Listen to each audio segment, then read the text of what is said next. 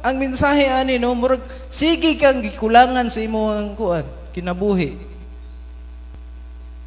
Kay ngano man na Ambot pasabot ni Jesus ang pagkabanhaw ni Ginoong Kristo. Ikaw, Lord, maga-safety sila ha nga tagsa-tagsa kang kinabuhi.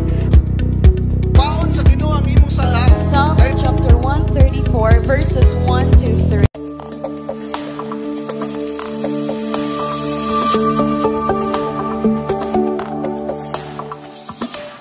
Amen. May buntag sa tanan. Hallelujah. Lami kini nasa naka sa presensya sa Ginoo no. Kay ang tanan kabugaton sa imong kasing-kasing. ah, tanan kabalaka nga imong nabati sa imong kasing-kasing mawala, mawala no. Muna usa sa gahom nga naa sa pagdayeg sa Ginoo. Ang tanan natong kabalaka, kahadlok, um, uh, aduna man kay giatubang ang mga pagsulay no sa imong pagdayeg sa Ginoo dihan imong makita nga buhi ko di mga atong Dios nga galagaran. Mabati nimo iyang presensya. Amen. So ako adayron nga turno no nga mo share sa pulong sa Ginoo.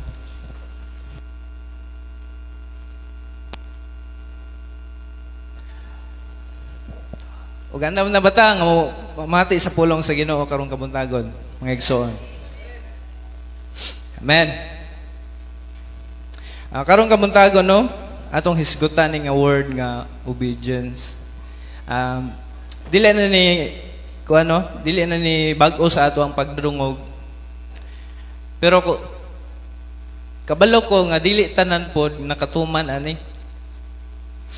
Kaning word nga obedience no lisod kay ni buhaton kung wala kay ah, kanang gugma sa pagpangalagad sa Ginoo. Lisod ni siya buhaton mga igsoon. Ug muna atong hisgutan karon no. Uh, before ta mo padayon sa ato ang um, message karon mag-pray sa ta. Our Heavenly Father, we thank you Lord for this morning, you know. Salamat sa matag-usang nga niya karon. Salamat Lord nga padayon ka magapanalangin sa mga kinabuhi sa imong mga kanakan, Ginoo. Ah, sa among pagpadayon, sa pagtuon, sa imuhang mga pulong, Lord. Tagay mi kaalam, Ginoo. Sa pagsabot sa imong mga pulong, Ginoo. aron makinabuhi namo ni sa among paglakaw kauban kanimo Ginoo. Salamat Lord sa ah, opportunity nga imong gihatag sa among kinabuhi nga mo share sa imong pulong. Ah, kaning nga pulong Ginoo dili ni ako kundi imuha ni makahatag ni ah, kadasig sa imong mga katawhan. Salamat Ginoo sa tanan nga imong gibuhat sa among kinabuhi. Amo kang pasalamatan dahigon Ginoo sa ngalan ni Jesus. Amen. Okay, kaning kaning word nga obedience no natay excuse me. Tulo ka pangutana dere before ta mo proceed sa ato ang topic. Ang una dere no, do you live a life that obeys God? Ay kaduha, what is the significance of obedience? How do we obey the Lord? Kaning nga tulo no, nga pangutana ato ni matubag sa atong pagbadayon sa pag ah, tuon ani nga pulong. Kung namoy mga Biblia, napon mo yung mga notebook diya, ah, pwede, pwede mo mag kuan, take note ani. Um, Rugwa na may nagdalag notebook ninyo. Ano pa di ay? Ah, before ta mo proceed no, na, na istorya sa takajot.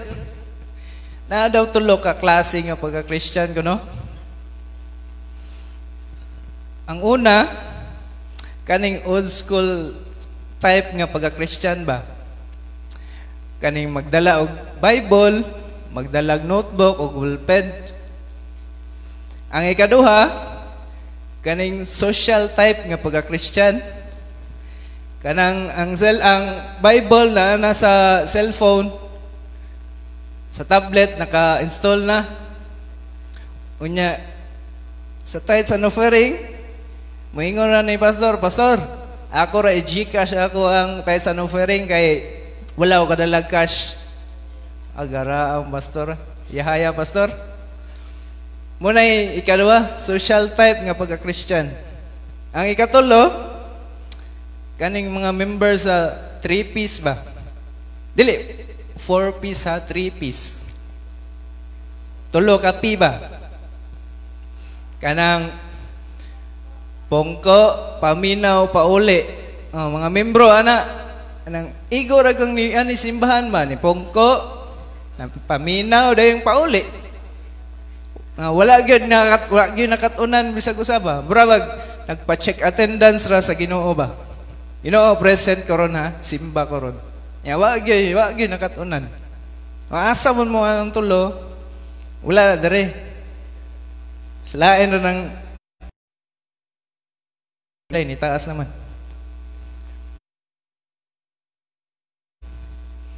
Di po mo mabinuangan man. Sige, padayon ta. Ato ablihan ato mga Biblia no sa Philippians chapter 2. Philippians chapter 2. But emptied himself taking the form of a bond servant and being made in the likeness of man of men. 8 Being found in appearance as a man, he humbled himself by becoming obedient to the point of death, even, even death at the cross. O, sa Bisaya pa, akong masahon, angay ninyong batunan ang hunahuna nga gibatunan ni Kristo Jesus nga mao kini. Bisan siya Dios, wala siya mamugos nga magpabiling tupong sa Dios. Hinoon sa iyang kaugalingong kabubuton gibiyaan niya kining iyang katungod ug nahimong usa ka ulipon. Natawo siya sama sa kasagarang tawo, nagpaubos siya og nagmasinugtanon hangtod sa kamatayon, bisan sa iyang kamatayon sa cross. Amen. Alaygo ng pulong sa Ginoo. So anita atong topic karon no? Atong team no? Obedience matters. Now, sa atong gibasa diri sa uh, verse no diri sa Philippians. Naghisgot ni Rig- pag pag-obey ni Jesus sa amahan. Nga bisan sa iyahang ah, bisan bisan siya Dios pero nagpabilin siyang ah, nagpaubos siya sa iyang kaugalingon ug wala siya nag uh, nga tupong siya sa Dios. Kay ngano na aron sa pagtuman sa sugo sa amahan sa iyang sa iyaha. Nga bisan gani nga ang ang kapalit ani ba ang iyahang kinabuhi dito sa cross. O kabalo ba mo nga tungod sa iyang pag-obey sa Ginoo sa amahan naka benepisyo ta ani nakabaton tag kaluwasan. Amen? So ang obedience di ay mauni. Our lives revolves around the obedience and disobedience. Any form of disobedience should be overcome by the great strength of our obedience to the Lord through the power of the Holy Spirit. So as we obey God, we are able to live a life worthy of His calling and receive His promises for us. So ang kuan day no, ang ubi, ang word nga obedient nabahin ni siya sa kaduha, duha. Uh, whether ni obey ka sa Ginoo o ni disobey ka sa Ginoo. Og ni obey ka sa Ginoo, takos ka nga mo receive sa mga ga- ah, sa mga saad sa Ginoo nga gi promise ato ah. Ang obedience is needed ang obedience po no is needed in order to survive pressures and problems. So, ang imo ang pagsunod sa Ginoo, ang pag mag, masinugtanon sa Ginoo, kinahanglan din nimo no aron nga makasurvive ka sa mga pagsulay o mga ah, pressure sa kinabuhi sa tawo. Kay kinahanglan kay nato ni ngano man. Kay when we obey and follow God, the solid foundation is being built. So that when testing comes, we become unshakable. So, ang pasabot ani example, ang example lang no. Ang tao nga nag nagsunod sa Dios sama sa usa ka balay. Ah, nga gitukod sa lig-on nga ah, pundasyon. Ah, usa ka balay ba nga naa sa lig-on nga pundasyon. Kaya bag-o ra ganitong kuano balita no nga nailinog no. Ah, makita na to sa mga picture sa Facebook. Ya bisag nindot kaing balay no, tumpag gani. Ah, wala siya nag wala ni siya naghisgot og kaning sa anang balay nga kaning literal nga balay ba nga atong hisgutan. Sa atoa ni nga kinabuhi. Kung mo-obey ka sa Ginoo di ay ah, makabuild ka og ah, foundation ba nga moabot ang pagsulay sa imuhang kinabuhi dili ka matarog So, muna siya ka importante ang word nga obedience mga igsoon. Kay kung muabot man ang daghang problema o pagsulay sa atong kinabuhi, dili ta maunsa. Ug ang usa sa yabi ana mao ang pagsunod nimo sa Ginoo. Ngano man nga kuan dali ka maluya pag abot na sa pagsulay. Murag ang imuhang pagtuo sa Ginoo mabugnaw, mawala. So, ang rason ana no, siguro na kay wala natuman sa Ginoo. Para mahimo kang ligon sa pagsulay, kinahanglan nimo ang yabi. Maunsa man ang yabi, mao ni ang pagsunod nimo sa Ginoo. Amen. Uh, sumala sa giingon po no, nga bot pasabot ani nga kung nahigugma pud ka sa Ginoo, musunod gyud ka niya. Ang tao nga nahigugma sa Ginoo, musunod gyud na sa Ginoo. Sumala sa giingon sa 2 John chapter 1 verse 6 no. Ato ra ning agian kamay ni kaning verse. 2 John chapter 1 verse 6.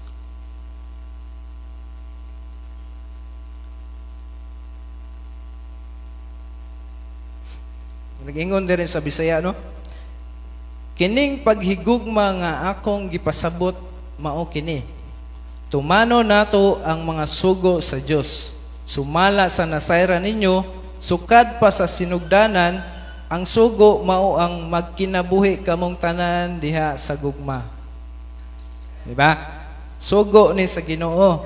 O kinahanglan nato ning tumanon. Ang unsa man? Ang maghigugma ay kita.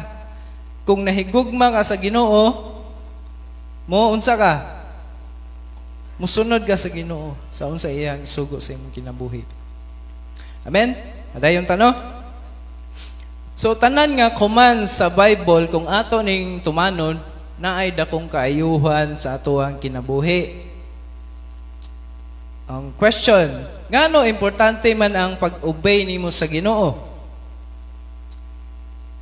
Kaya ang tao nga dili mo obey sa Ginoo naa siya'y insecurities, unfulfilling life, ug fear. Kanang nakabantay ka nga kanang ang ta nay usa nay tawo nga mura bag insecure sige. Unya naay tawo pod nga murag dili satisfy sa iyang kinamu, kinabuhi bisag naa na niya, niya tanan. Ug ang usa ni kaning naay kahadlok. Ngano man na, ngano unsay rason ana? Tungod na sa dili nimo pag-obey sa Ginoo. So ngano moabot sa tawo ang kabalaka, kahadlok tungod na sa dili pagsunod sa Ginoo.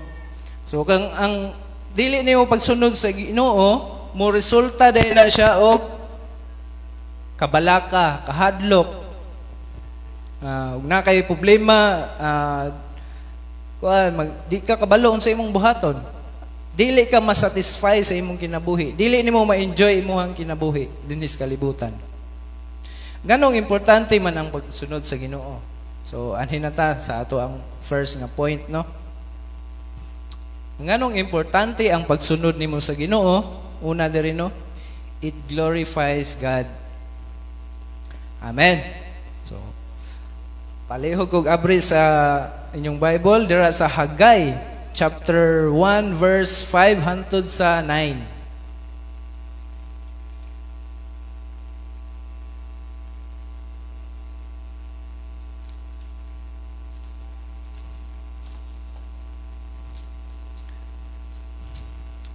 Okay, nanabaw tanan dia. Hagay. Or sa Bisaya ni Hagiyo. O wala mo kabalo sa page na sa page 969 sa inyong Bible kaning inani nga Bible. Sige, atong basahon. Hagay chapter 1 verse 5 hantod sa 9.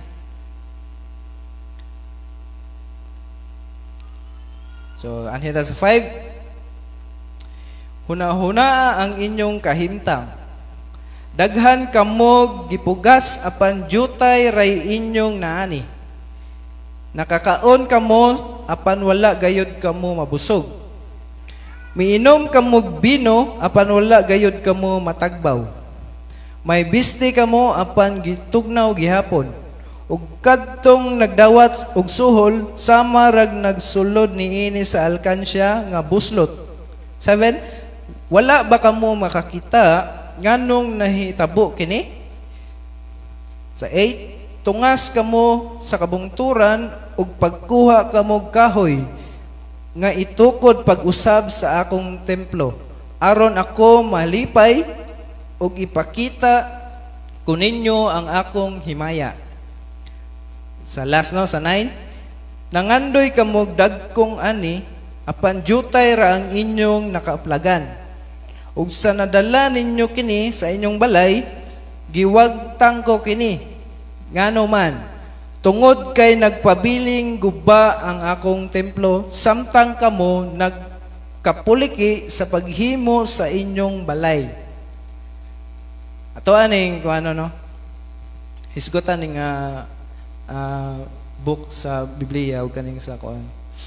Uh, dinhin no sa mga verses nga atong gibasa, gipakita dinhin no ang estado sa kinabuhi sa tawo. Matod pa sa atong gibasa nga ang tawo diri no murag dili matagbaw ba murag naghago kag trabaho pero wala kay murag wala wala ka naki, wala kay nakita sa imong gitrabahuan, gihaguan. O nagkuan po ka, nagkaon ka, pero murag wala ka na satisfy sa imong gikaon. Nganong, nganong mana, so ato ni hisgutan no, kaning, unsa may mensahe nga gusto ipaabot sa Ginoo sa ato karong kamuntagod. Uh, sa ako ang naton ano duha ang meaning ani ang uh, nga at nganing uh, verse nga atong gibasa. Duha ka buok. Ang una dire kaning literal. Uh, sa literal no daghang mga tawo nga busy kaayo sa pagpanginabuhi. Makakwarta tuod sila pero murag naay buslot ilang bulsa ba? Mukaon sila pero murag wala sila mabusog nabusog Buot pasabot ani, ang mensahe ani sige sige kulang ba? Murag sige kulang imong kinabuhi. Naghago tuod kag trabaho pero wal nagdawat kag sweldo pero matingala ka nag sweldo kunoy ka og 50,000. Nya inigluklok nimo sa bulsa. Pagkapila ka adlaw iniguot nimo wala na. Naka-experience ta na? Nga bali na tong pagpaningkamot trabaho nya murag wala gud kay nakita ba? Sa imo ang gihaguan. Unya mukaon ka sa gawas mukaon kag mga lagming pagkaon. Murag dili po ka mabusog murag dili ka masatisfy. Mangita gyud kag laing pagkaon pod. No? Ang mensahe ani no? Murag sige kang gikulangan sa imo ang kuan kinabuhi. Kay ngano man na Atong basahon diri sa 7 no.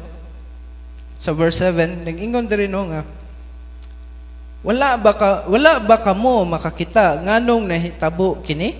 Yan ang utana ang Ginoo ba? Ngano man ang nahitabo sa inyo ang kinabuhi? Nga murag dili man mo ma, matagbaw. Nga murag ang inyong paghago ba nahimong kawang. Mao ni rason mga igsoon. Kung wala na gani ang Ginoo sa imong hunahuna, busy na ka sa mga butang sa kalibutan, dili na malipay ang Ginoo sa imong kinabuhi. Nang busy na kay ka ba, murag malimot na ka sa Ginoo tungod sa imong pagpaningkamot bisag adlaw nga Sunday imuhag yung kuanon kwaon ba imbis para sa Ginoo imong kwaon kay para uh, mangyawat ka aron nga naa kay kwarta makakwarta kag daghan pero ang ang pasabot di ay nga bisag unsaon nimo pagpaningkamot dinis kalibutan dili gyud ka matagbaw kung imong kalimtan ang Ginoo. Di ba? Ang Ginoo ray makatagbaw nato mga igsoon. Dili dili ang mga butang aning kalibutan na. Amen.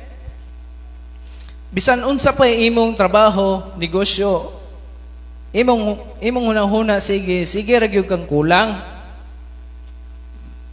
Base sa verse 8 nga atong basahon na. Nga niingon diri no sa verse 8 unsa may gusto ipasabot sa Ginoo ani kaning tungas kamo sa kabungturan ug pagkuha kamo kahoy nga itukod pag-usab sa akong templo aron ako malipay ug ipakita ko kaninyo ang akong himaya so, unsa may pasabot ani no Awa, ang pasabot ani sa Ginoo nga It represents our devotion to God. Kanang go up to the mountain. Ug mag uh, nagrepresent ni siya sa ato ang devotion sa Ginoo. Meaning kung naay disobedient heart ang usa ka tawo, bisag unsaon nimo pagpaningkamot, kulangon lang gihapon. Literal na mga igsoon literal. So anhi ta sa spiritual. Spiritual nga bahin. Sa spiritual aspect, ang message ani nalimta nato ang Ginoo. Nga giayo ta sa Ginoo, giayo sa Ginoo ang ato ang kinabuhi. Ang pasabot aning templo nga his, gihisgutan diri no. Kita ni, 'di ba? We are the temple. Uh, our body is the temple of God. Matod pa ni sa kuan sa 1 Corinthians, mabasa na. Do you know, do you not know that your body is the temple of God? Ang atong lawas mao ang templo sa Ginoo. Ang gipasabot sa Ginoo ani no? Nalimot ta nga giayo ta sa Ginoo. Atong kinabuhi sa una guba. Meaning ang templo nato sa una guba kayo. Pero giayo ta sa Ginoo. Amen. Giayo ta ang hinungdan nga nung nasubo ang Ginoo kay ngano nalimta na to siya kabalo baka nga kung Kristohano na ka na nalimot ka no and you forget uh, winning souls and making disciples bilo mo nga uh, ay ko inang walay break sa inyo ang trabahoan ay ko nang wala kay amigo, wala kay amiga sa inyong trabahoan. Na ah? Or sa og nagnegosyo ka na kay nakaila-ila. So mo time nga uh, mo opportunity nimo nga mo share ka sa pulong sa Ginoo. Kay usahay magud nawala atong nawala ang ato ang focus ba, uh, nawala ang pagsunod nato sa Ginoo tungod sa kabisi nato sa atong uh, pagpanginabuhi din sa kalibutan. Abi nyo, daghang guba nga mga templo, mo ni giingon sa Bilbeya, no? Um, sumala sa ang giingon kanina nga, ang, ang templo mawang ato ang lawas. Unya, daghang mga templo nga o kinabuhi nga guba, unsa may imong gibuhat isip usa ka Kristohanon. Unsa man Wala, pastor, kay ah, bahala na na sila. Basta luwas na ko. Dili inana, no? Dili ta mahimo, di ta ang Kristohano, ang tinuod nga Kristohano dili selfish kanang kuan ba? Kinahanglan nga mo mo share gug ka daghang mga tawo nga nag naghuna huna lang sa kaugalingon. Tinuod ni. Tinuod dili. Tinuod. Kung selfish gani kang pagkatawo, wala nimo hatagi og panahon ang Dios sa imong kinabuhi. Wala ka nakapahimaya sa Ginoo. You do, uh, you don't glorify God in your life. Sama sa atong gibasa. Basahon nato ning sa verse 9.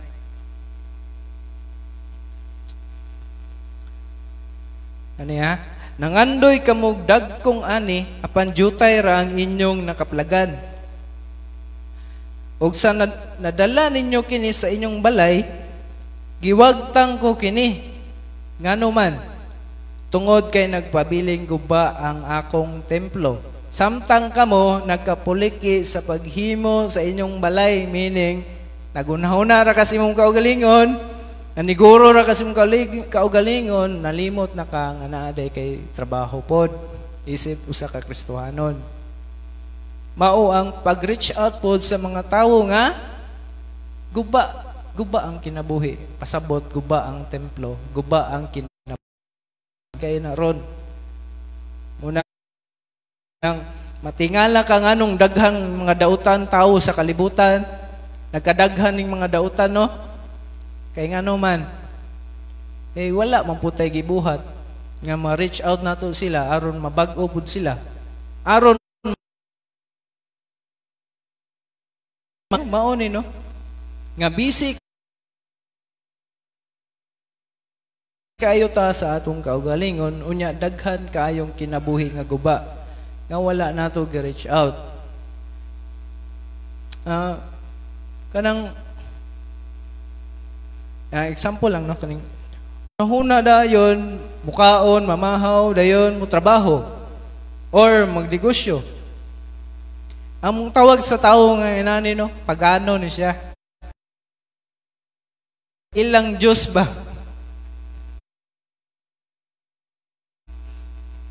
Kanang dili mo ilaw Ginoo kanang matara wala mura ra gyud wala.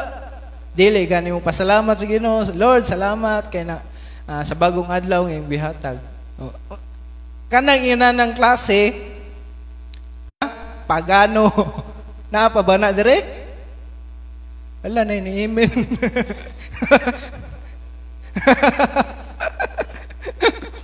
eh, ang pangutana ba na pa na dire Talagsa?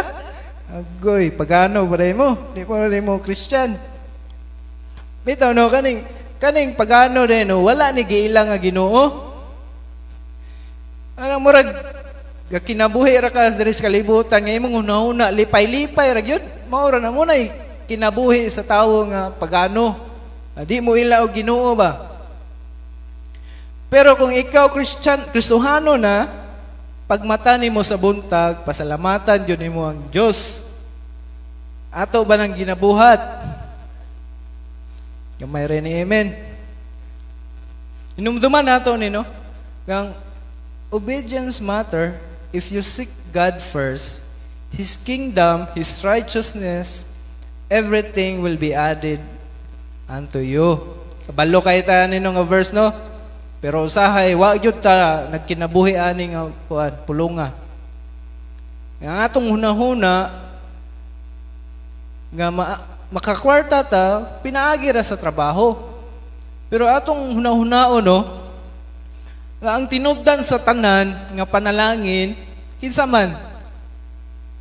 Ang Dios munang ug imong unahon pagpangita ang ginghirayan sa Dios ang iyang pagkamatarong, ang tanan ihatag nas Ginoo. Munang dili gyud nimo at kuanan ang kanang Sunday no? Para gyud na sa Ginoo para gyud na sa Ginoo. Ayaw gyud nagwalaa kay mo man ay gusto sa Ginoo. Ug moobey ka ana. Ang imong pangay ang ang imong ang gipangayo sa Ginoo ihatag na niya. If you obey. Munang obedience matters. Ano? Pagsunod, ah, kaning dili, pagsunod, no? Kanang magsunod ka sa ginoo, dili nakaangay mangayo. Kanang nagtuman ka sa ginoo, bitaw? Dili na nga kinahanglang mangayo, sultian ta mo. Kay mis kay ang Ginoo na mismo mao'y muhatag. Kabalo na gud ang Ginoo sa atong gikinahanglan. Nasayod siya sa sitwasyon sa imong kinabuhi. So dili na kinahanglang mangayo. Kay ang Ginoo mo tagbo na sa imong panginahanglanon. Kung mo-obey ka sa Ginoo. Munang obedience matters. Gisuon. Kung gusto ka nga mopuyo nga malipayon dinis kalibutan, nga kanang kalipay nga gikan mismo sa Ginoo ba? Kabalo ka unsa imong unang buhaton? Mao ni. Imong unahon nga malipay ang Ginoo sa imong kinabuhi. Kay mo na'y makapahimaya sa Ginoo. Anang unahon nimo nga malipay ang Ginoo sa imong kinabuhi. Nga kanang nagtuman ka sa iyahang kabubuton. Nagtuman ka, ni-obey ka sa iyahang sugo sa imong kinabuhi. Mo na'y makapahimaya sa atong Ginoo. Amen? So, adto ta sa ikaduha nga points, no? Nganong ang pagsunod sa Ginoo importante mga igsoon kay it blesses your life. Kung musunod ta sa Ginoo, dili man laing tawo ang unang panalanginan sa Ginoo. Ikaw man mismo. Kanang pagsunod nimo sa Ginoo, ang makabenepisyo ana ikaw rapod dili laing tawo. Amen. Ah, ako no mutuo ko no, no nga ang panalangin wala sa lugar or location. Ah, kanang naay moingon bitaw nga adto ta dito kay naa dito ang green pastures. Dili tong green pasture nga sa bakong ma atong funeral ba. Kanang green kanang green pasture nga gipasabot ako. kanang giingon sa Psalms 23 ba. Dadun ta sa Dios sa ang sana lu, sa Bisaya ani lunhaw nga sibsibanan mo ba na? Oh. Mo na green pastures. Kanang naay mo ingon tawo nga adto ta dito ah, laing nasod kay naa dito ang maayong kaugmaon. Ah, wala og ah, ingon, wala ko na ah, dili na akong pasabot nga sayop nang muato kog laing nasod ha, manrabaho ka dito aron ah, dito nag nangita ka og maayong kaugmaon sa imong pamilya. Dili dili na mo akong pasabot nga sayop na. Ang akong pasabot mao ni kanang wala sa location o lugar or nasod ang kuan kanang panalangin. Ang akong point mga igsoon, no? bisan din hira ka sa Pilipinas, no? Kay bisag asa pud kamo adto, ang ekonomiya bagsak man pod. Itungod pod sa panghita po karon nga Nigeria pa dito sa Russia, sa Ukraine nga ang gasolina mahal. So ang palitonon mahal pod. Bisag asa man pud kamo adto, mahal man pod. So nagkamahal, wala man po'y lugar nga barato kay islag palitonon, nagkabarato. Nagkadug nagka nagkadugay, nagkabarato ilang palitonon. Nagpasabot, nagkamahal Min- meaning ah, ang ekonomiya bagsak ba? Ah, Para sa Pilipinas ba, ang atong ekonomiya diri, murag atong hunaw-naon, ug diri ka manginabuhi, murag dili gyud ka mo kuan bulambo, wala gyud maayo nga kaugmaon ba sa imong pamilya. Kung imong hunaw-naon sa literal ra. Pero kung kung imo pong hunahunaon no sa espirituhanon natong ah, pangalagad sa Ginoo, ang ang green pasture naa na wala naa na sa Ginoo. Ang Ginoo maoy muhatag ana nimo. Wala na sa location. Bisag asa ka ka moadto, bisag ah moadto ka Amerika or sa Dubai. Dili gyapon ka ah, dili gyapon yung makita ng tinuod nga ah, panalangin ba? Kung mo disobey gani kas Ginoo, kanang kinabuhi nimo, di ko ka mabat, maka maka-experience og kinabuhi nga malipayon. Sige gud kang murag sige ang gilanat ba? Gilanat sa oras. Walay kalipay sa imuhang kinabuhi. Ah, Wala na sa lugar no? Wala na sa location. Ug ang akong kuan diri no, maangko nato ang saad sa Ginoo nga isupply niya ang atong panginahanglan ang susi ana mga igsoon ang pagsunod nimo sa Ginoo, ang pag-obey nimo sa Ginoo. Amen. So, palihog og abri sa inyong Bible diri sa Isaiah. Isaiah chapter 1 verses 18 hangtod sa 20.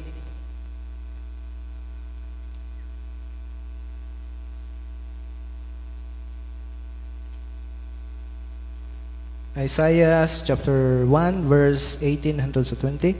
Ah, nagingon diri no? Nagingon ang Ginoo, ngari ka mo og maghusay kita.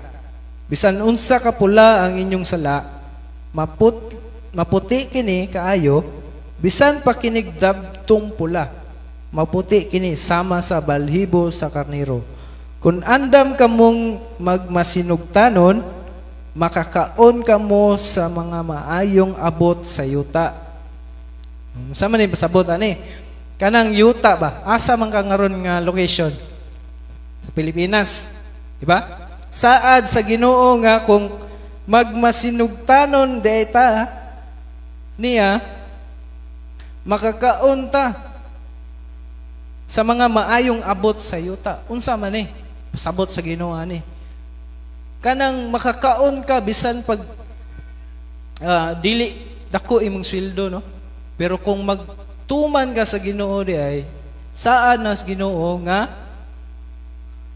makakaon ka saan man niya ug dili ni niya tumanon mahimo ning bakak meaning wala na sa location di ay ang atong ah, nang imong gi- gihuna-huna nga ah, tawag nga panalangin naa sa imong pagsunod sa Ginoo. Amen. There is a 20 no nagingon no. Apan kun musukol ka mo og dili mo patuo, sige ingon dere, patyon ka mo pinaagi sa espada. Ako ang Ginoo maoy nagsulti niini. Oh, patyon na ita. Munang mu- mutuo magag sa dili, ug mutuo ka, makaangkon ka sa saad sa Ginoo. Ug dili, oh, patyon kas Ginoo. O manigiingon diri. Apan kung musukol ka mo, ug dili mo patuo, patyon tas Ginoo. Pinaagi sa espada. Ako ang Ginoo maoy nagsulti niini. Ginoo ang nisulti niya, dili ako. Ako ang Ginoo maoy nagsulti niini. Meaning og Ah, mo rebelde tas Ginoo, mo disobey tas Ginoo, naatay padulngan. Example, kaning mga young people, ah, itong example ng mga young people, para nanon sila gamit. Kanang na kay anak ba, nga gahi kay ulo bitaw, sukol sa ginikanan, dili mong patuo. Unsa ibation nimong ginikanan? Maguol. Oh, ingos Pastora Michelle, maguol. Sa pa. Example, kanang inigmata sa buntag.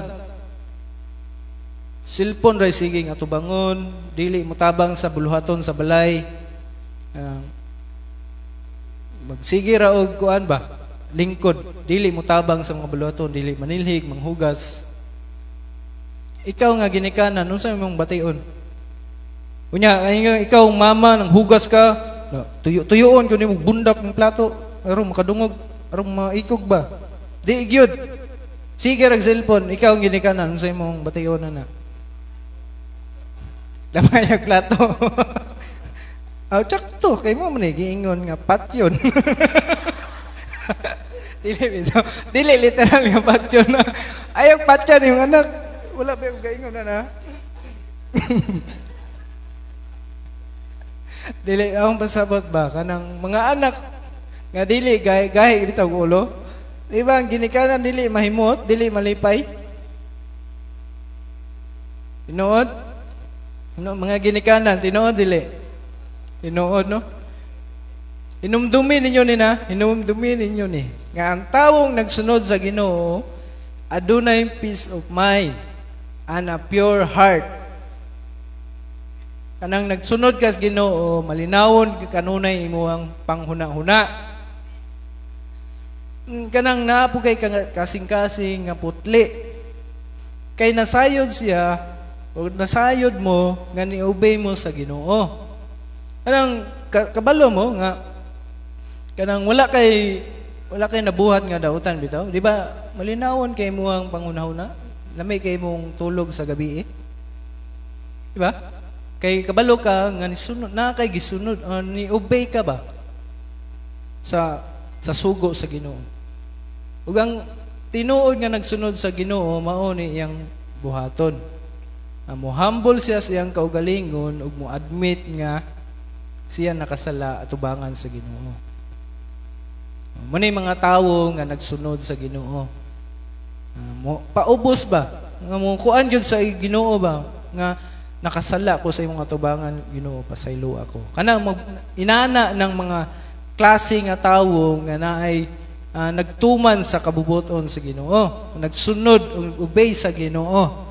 Kay ngano man mo man ay mo na ato ang um, balos sa Ginoo ba? Nga kanang mutuman ka, hatagan ka sa Ginoo og kalinaw nga panghunahuna. Ug mo paubos ka sa imong kaugalingon, ug mo admit ka nga nakasala ka atubangan sa Ginoo. Ug mo na mo na makapahimaya, ug mo na makabless sa imong kinabuhi. Mo na ang sa ato ikaduha, it blesses your life. Maunang naay mga tawo nga malinawon ang kinabuhi, mga tawo nga adunay inner peace inside.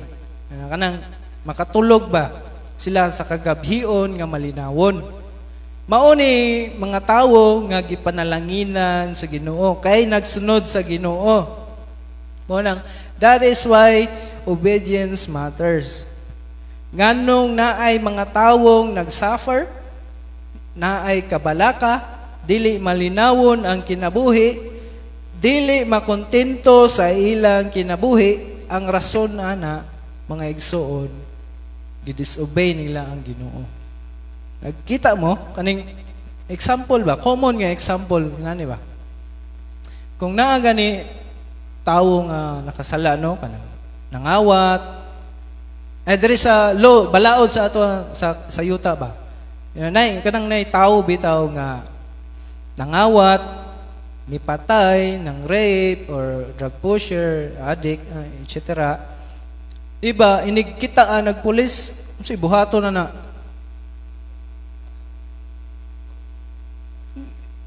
Layo pa ng pulis, wa na. Sutoy na naglagan, hadlok og pulis. Hadlok og authority. Ngano man. Kay nakasa, nakabalo siya, nga nakasala siya, na siya sala nga nabuhat.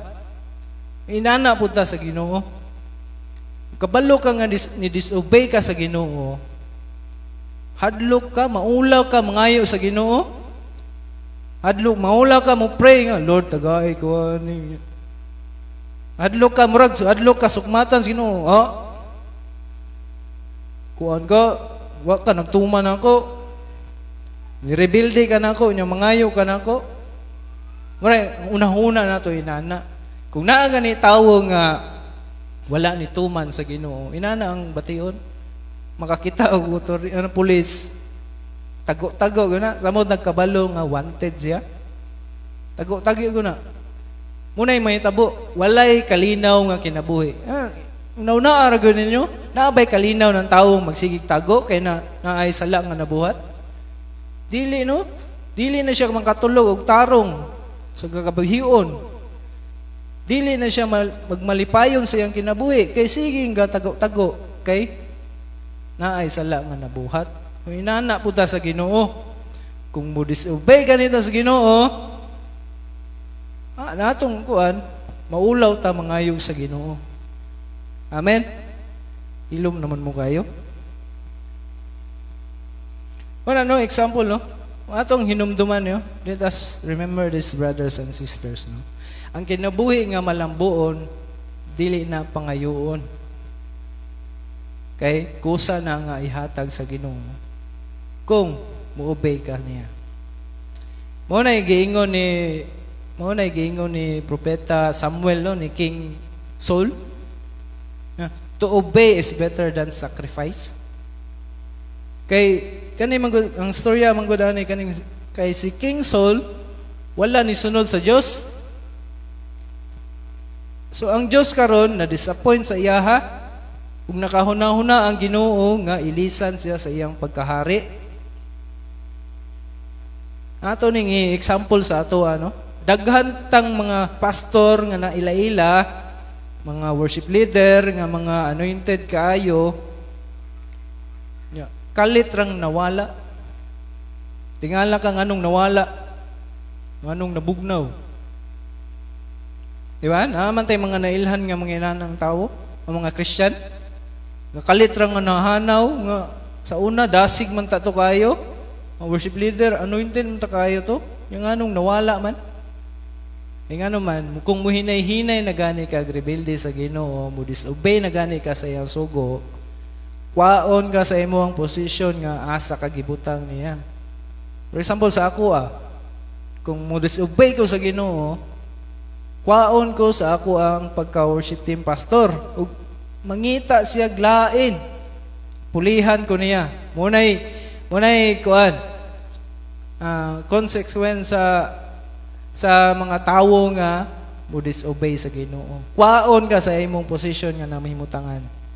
No hinumduman nato nino kung naa nimo ang balaang espiritu o ang Holy Spirit, dili kapoy ang pagsunod nimo sa Ginoo. Tinuod kanin ato ang simbahan no, daghan kay tag mga buluhaton. Kami mga pastor nagkapuliki mi adto kal- kalango dayon pansil. Yeah. Ah, busy gyud mi kayo. Pero wala mi eh, nagunahuna nga kabugaton na nga buluhaton. Kay kung naa nimo ang Holy Spirit o ang balang Espiritu, ah, makahatag na nimo uh, kalig-on, ah, kanang kanang kusog ba? Maghatag nimo kusog sa pagbuhat sa mga buluhaton sa Ginoo. Amen. Munay munang kinahanglan kayo nato nino nga nga bisan tuod og busy ka sa imong trabaho, busy ka sa imong negosyo, hatagi gyud og panahon ang Ginoo. Obey gyud ingano man saad sa Ginoo nga supply sa Ginoo ang imong panginahanglan. Amen. Uh, para sa atong instru- uh, introduction ganina no nga kung musunod ka ma-overcome nimo ang tanang pressures o uh, and problems in life because you have God in your life ug ang favor nga ihatag sa Ginoo sa imuha maangkon nimo ang saad niya sa imong kinabuhi maunay maunang obedience matters life. Amen. So anin na sa last nga points no?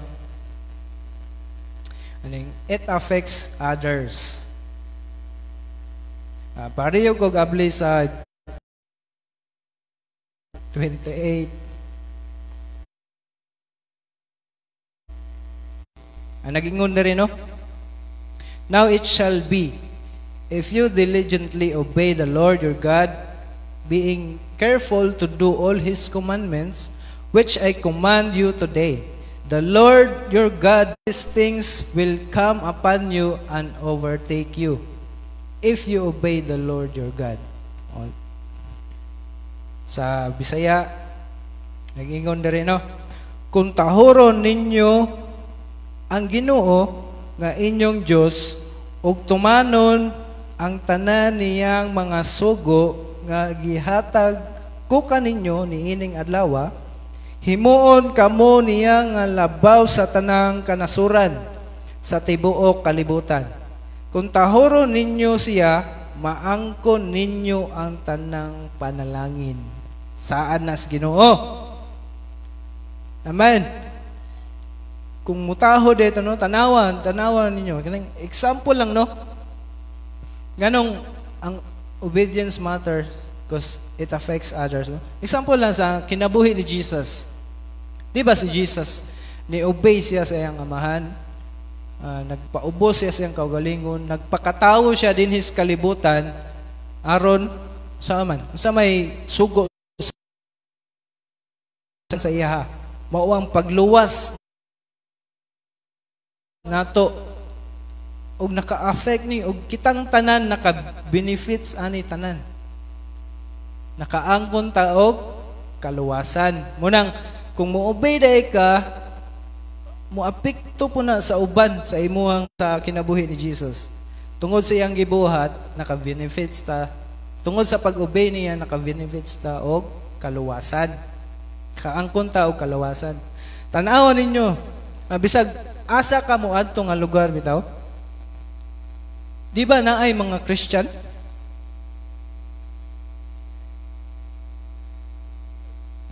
Kanang bisag asa ka mo adto bitaw sa Pilipinas man, sa Amerika, di ba na ay mga Christian? Ang pangutana nganong nganong nga wala pa hukmi sa Dios ang tibuok kalibutan? Nga bisan nakita nato no nga Grabe na kaayo kadautan ang mga tao sa tibuok kalibutan. Amen? Pero nga nung wala pa man hukmi sa ginoo ang kalibutan. Tungod na kay naay asin ug kahayag. Di ba? We are the light of this world. Ug kita mga asin ta dinhi sa kalibutan. Unsa may unsa may gamit sa usa sa gamit sa asin? Di ba pag usa ba? Usa. Pagtimpla og pag preserve. Ano i-preserve niya ang usa ka pagkaon. Nganong wala hukmi sa Ginoo ang tibuok kalibutan? Kay tungod kay naapay mga Christians, naapay mga asin o kahayag sa usa ka lugar nga munang makita nato nga bisag unsa ka dautan ang mga binuhatan sa usa ka lugar wala hukmi sa Ginoo kay naa ka. Naapay mga Christian, naapay nagsunod sa Ginoo. Muna, bisan dili ma dili mo tuos Ginoo, na naapil sila, na, na it affects others ba? Kanang naka nakabenepisyo pud sila sa kasuko unta sa Ginoo. Munang kung mo-obey ka sa Ginoo, it affects others also. Amen? Kaya para sa kuan ba? Pareha sa kuan ba? Ano sa ato ang generation karon no? Pwede na to makumpara ang atong generation karon no sa sa Sodom and Gomorrah. Unsa may nahitabo dito Sodom and Gomorrah? Nga ang mga lalaki dito nakighilawas na og isig ka lalaki. The same po sa babaye. Kita na to grabe kadautan ang mga tao dito. Pero human nga gikuha sa Ginoo ang mga tawong matarong, mga righteous people ba? Unsay gibuhat sa Ginoo? Gi gisunog gipaulanan og kalayo. Muna gibuhat sa Ginoo. Pag-separate niya sa mga righteous people dito niya gi gihukman ng Sodom and Gomorrah. Ah, sa ato ang generation inana pud karon no. Nakita na to no? Nga kaning mga tawo karon na ay mga lalaki karon nga feeling babayi naapoy babaying feeling lalaki. Nagkadaghan ba ni sila? Tanawon ni mas palibot nawas palibot nagkadaghan ning mga tawo nga mga dautan. Unang ang ato ang trabaho isip usa ka sumusunod ni Kristo mao ang pag pag-ayo sa templo sa Ginoo. Pag-reach out sa mga tawo nga guba ang kinabuhi. Amen. Ug ang usa ka example ano ano nga kung mo disobey ka sa Ginoo, it it will affects others also. Kanang musupak gani ka sa sa sugo sa Ginoo, maapektuhan pod ang uban. Kainomdom mo sa kinabuhi ni Jonah. Dili tong Jonah nga unya ang mga tao nga sakay sa barko nga hadlok. Nya pagtanaw nila si Jonah natulog ra man. Gipukaw. Pukaw uy mata. Pagampo sa imong Ginoo. Kay mga lunod na unya tani. Pero nakahuna-huna siya na-realize niya no? Nga ni disobey dahil sa Ginoo.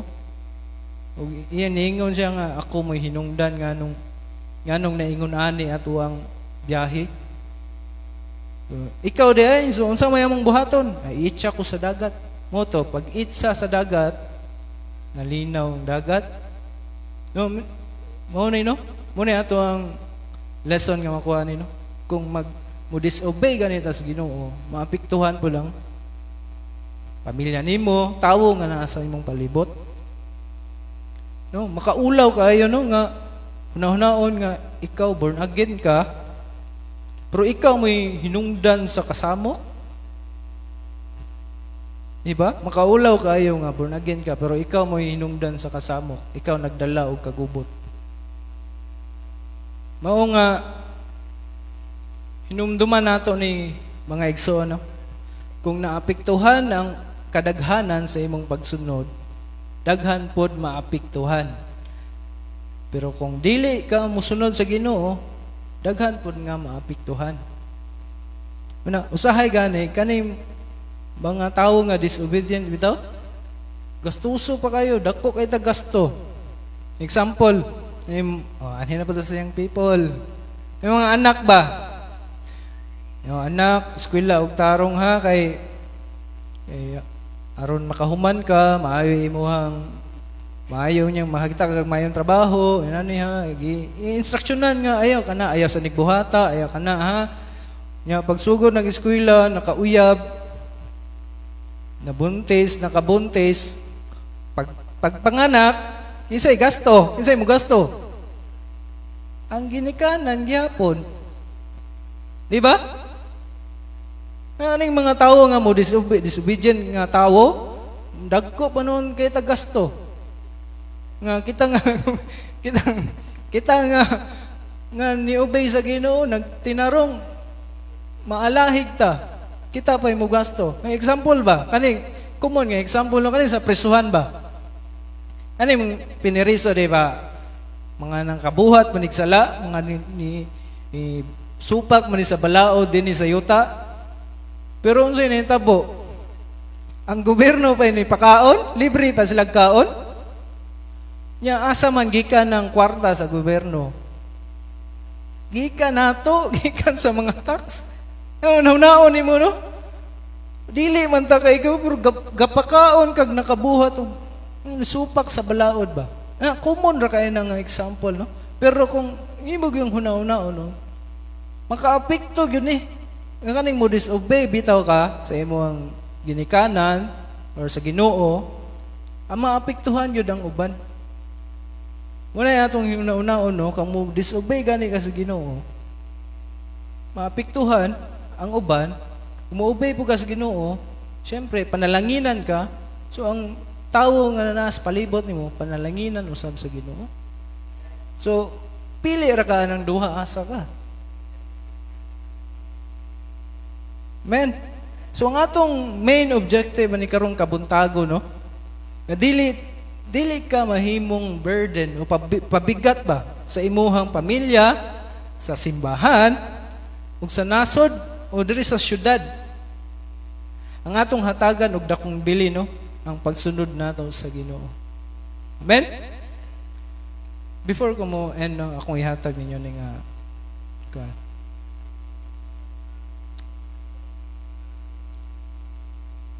Uh, obedient heart is an attitude of a wise person. Your life of obedience is a blessing to your family, to your church, to your community, and to our nation. Ang kanang kasing ah, kanang kasing-kasing nga masunuron gani sa Ginoo. Batasan na sa tawo nga unsa man maalamon. Ug ang imong kinabuhi nga nagsunod sa Ginoo, mahimong panalangin sa imong pamilya, sa simbahan, sa community ug sa nasod sa Pilipinas.